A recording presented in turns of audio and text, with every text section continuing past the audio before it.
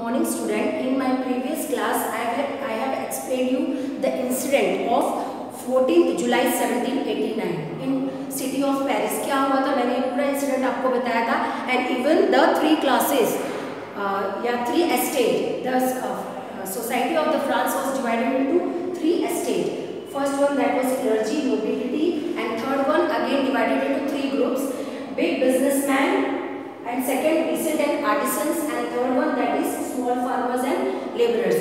और पूरा जो टैक्स है it was paid by the third estate पूरा बर्डन इन्हीं पे था।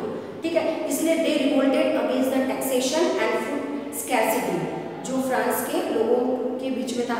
खाने की कमी की वजह से भी इन्होंने रिवोल्ट किया, क्योंकि ब्रेड का जो प्राइस है इट वॉज़ इंक्रीज तो ये सारे conditions I have explain you in the first video now today I will start about what was the condition of the people, है ना? They have to strive hard. To live ज़िंदा रहने के लिए उनको बहुत ज़्यादा बोलते हैं ना स्ट्रगल करना पड़ा। The population of France increased from 23 million in 1715 to 28 million in 1789 population increase हुआ। अब पॉपुलेशन अगर इंक्रीज होगा तो demand for food grain will also increase है ना? डिमांड भी इंक्रीज होगा फ़ूड ग्रेन का। जब फ़ूड ग्रेन का डिमांड इंक्रीज होगा तो क्या इंक्रीज होगा? ब्रेड का प्राइस भी इंक्रीज होगा. इवन द वेजेस जो वर्कर्स जो जो थे, जो किसी ना किसी के यहाँ काम करते थे एज ए लेबरर्स उनके वेजेस भी उतने इंक्रीज नहीं हुए, जितने कि ये इंक्रीज हो रहे थे प्राइस ऑफ़ ब्रेड तो इसलिए क्या हुआ the condition of the third estate का बहुत बुरा हाल हो गया, है ना? They can not even fulfil their basic necessities ये सारा प्रॉब्लम्स जो है सोसाइटी थर्ड स्टेट जो है, वो फेस कर रहा था during this particular time period है ना? ब्रेड का प्राइस इंक्रीज हुआ। देन कभी कभी क्या होता था? नेचुरल कैलेमिटीज हो जाए ड्रॉट हो जाए, सूखा बढ़ जाए। या, है ना? तब क्या होगा? Crops will be destroyed again crops destroy होगा, फिर प्राइस और इंक्रीज होगा फ़ूड ग्रेन्स का और ब्रेड का, है ना? तो एक एक कंडीशन होगा that is known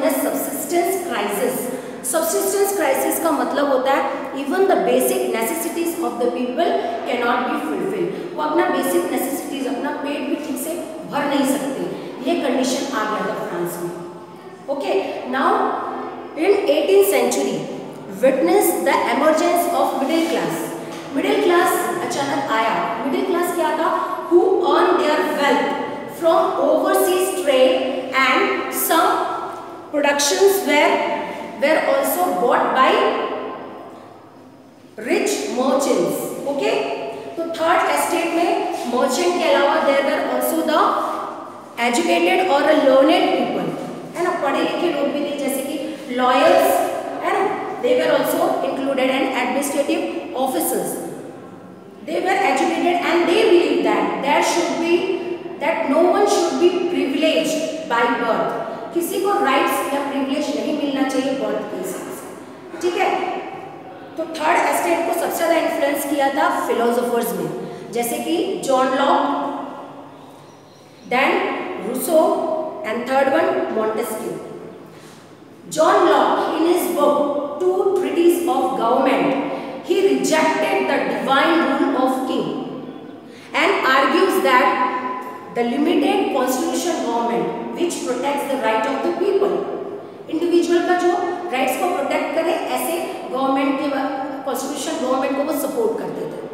Now the Montesquieu in his book the spirit of law he states that power should be divided within the government government के बीच में पावर्स डिवाइड होने चाहिए between the legislature executive and judicial now the Rousseau in his book social contract he also made exercise on social contract between the people and the representative. The views of the philosophers were discussed. ये जो views थे philosophers के वो discuss होते थे coffee houses में जहाँ पे बहुत लोग एक साथ इकट्ठे होते हैं एंड शलून्स है ना? ये सारे प्लेसेस में जो इनके व्यूज़ थे it was discussed and many people they also read the book aloud या uh, उनके जो थॉट है, उसको ज़ोर से पढ़ते थे ताकि the people who were illiterate those who do not know to read वो इसे समझ सके। ठीक है?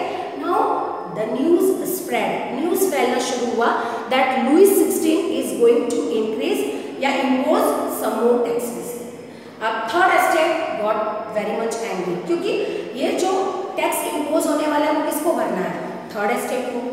Again they have to pay the taxes पहले तो बर्डन था ही और बर्डन राजा ने डाला। तो इसलिए king called a meeting of estate general on fifth May 1789 इसके पहले जो एस्टेट जनरल की मीटिंग हुई थी इट वाज हेल्ड इन 1614 इसके बाद नो मीटिंग वाज हेल्ड तो लुइस सिक्सटीन ने फिफ्थ मई 1789 में एक मीटिंग कॉल की एस्टेट जनरल की। एस्टेट जनरल की मीटिंग का मतलब क्या है?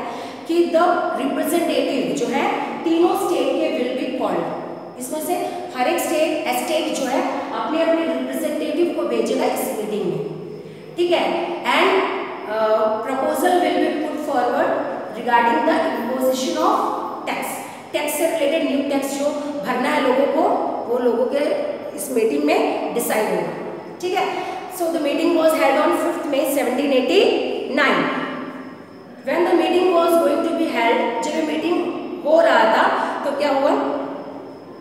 Louis sixteen three hundred sorry three hundred representative came from first estate and approximately nobility से भी रिप्रेजेंटेटिव आए three hundred and from the third estate the representative came that was six hundred representative है ना छह सौ representative third estate के and peasants artisans and were denied इन्हें इस असेंबली में आने का मतलब दे वे नॉट अलाउड वो इस मीटिंग को अटेंड नहीं कर सकते थे।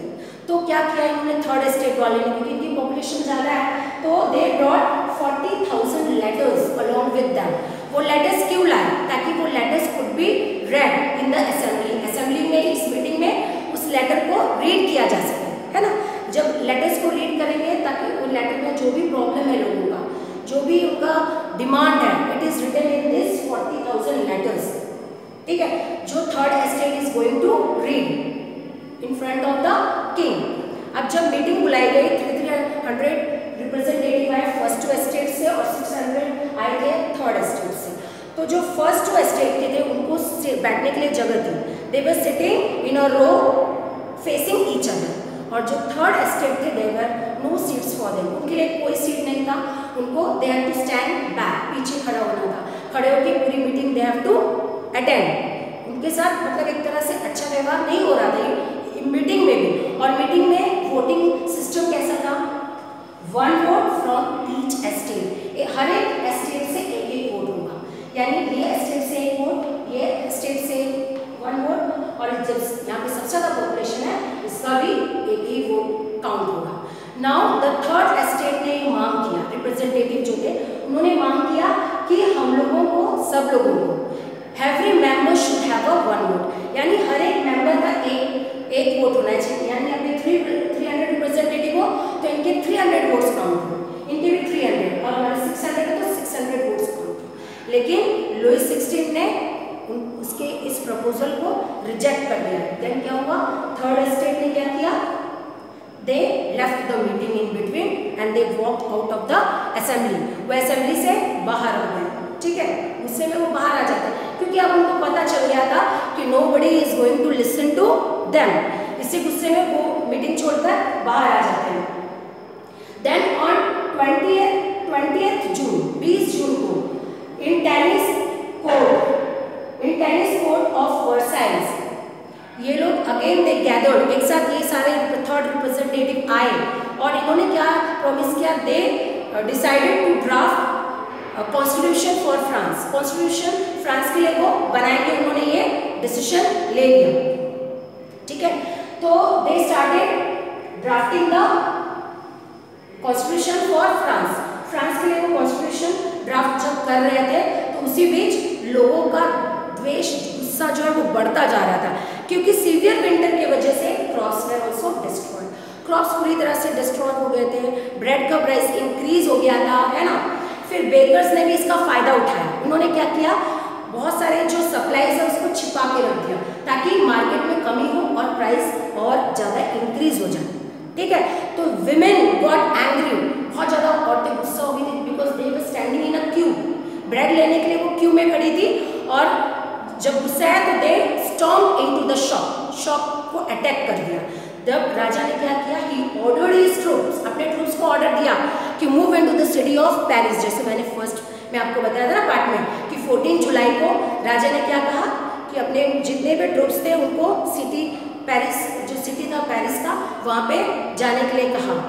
नाउ जो गुस्से में जो लोग थे एजिटेटेड क्राउड कि इन्होंने क्या किया? They destroyed the Bastille as I told you on 14th July 1789 that's that's all for today students. We'll continue the remaining in next class. Thank you